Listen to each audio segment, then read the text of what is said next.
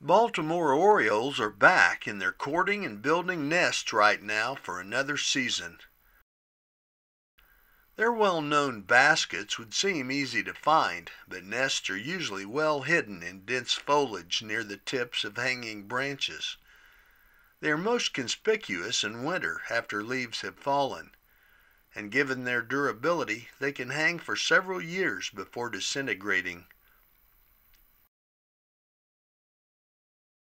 Watching a female oriole build is a thing of beauty.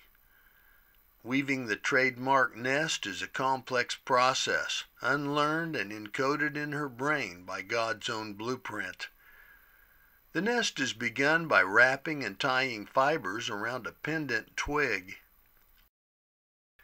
These may be long strands of tough grass or bark fibers but increasingly involve colorful and supple plastic twine or fishing line found discarded in the outdoors.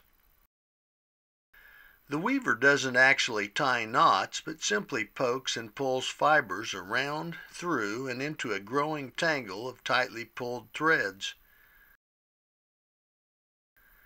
Building is an arduous process that requires constant work for 8 to 15 days.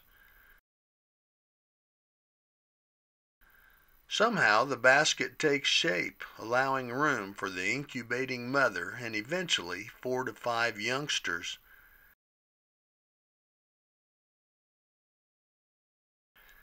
An inner shell of soft fibers is added, and finally the nest is lined with feathers and soft grasses. It is tight, dense, and mostly waterproof. Now is the time to watch for Baltimore Orioles in Kansas.